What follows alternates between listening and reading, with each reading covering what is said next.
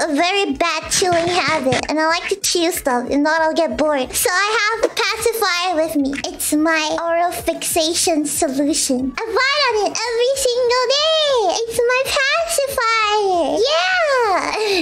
I stole it from my cousin's kid. So my cousin would buy pacifiers in bulk for her kid, and I just stole them. I mean, I never got caught. And then here's what it sounds like when I use it.